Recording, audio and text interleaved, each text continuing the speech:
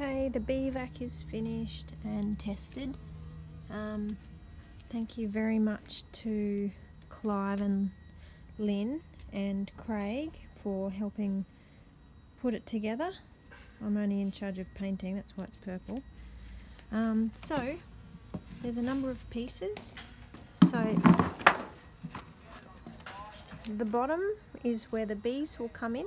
So the uh, two inch pipe clips in to the end there and um, the bees will come in at that point there.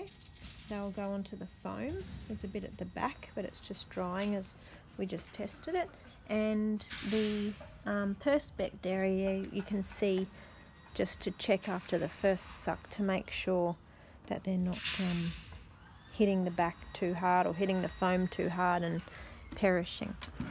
Um, so you put it all together. So you would put your stickies or your foundation in the um, the full depth box. You can use your own one um, for that piece there just easier.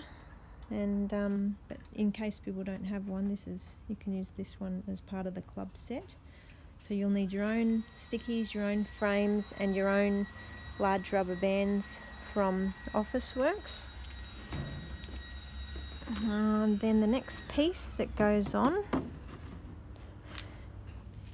and we found that this does need a little bit of gaffer tape around the edge um, and eventually we'll put another rubber around it.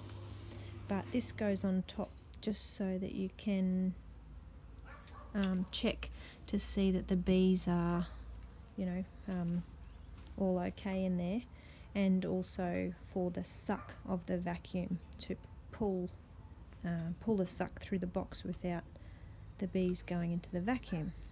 So then we put the last bit on top.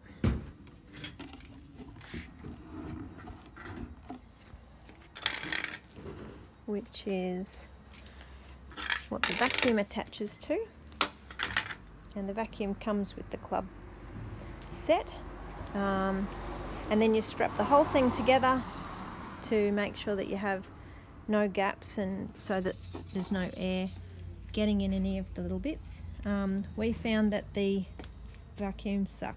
This is just an on-off vacuum so you regulate it with these valves but it was nice and soft with the closed with completely closed valves. But just check as soon as you've done the first uh, suck. I'll write some instructions, uh, but this baby is ready for use.